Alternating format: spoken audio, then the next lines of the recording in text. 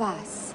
Moncherie gibt's erst wieder im September? Sie machen ja wohl Witze. Vielleicht wegen der Kirschen und der Hitze im Sommer. Das mit der Sommerpause ist doch jedes Jahr so. Wegen der Frische. Drum schmecken die auch immer so frisch. Moncherie mit der Piemont-Kirsche. Ab 1. September wieder frisch bei Ihrem Kaufmann. Also mein Mann ist ganz verrückt nach Moncherie. Der zählt schon die Tage.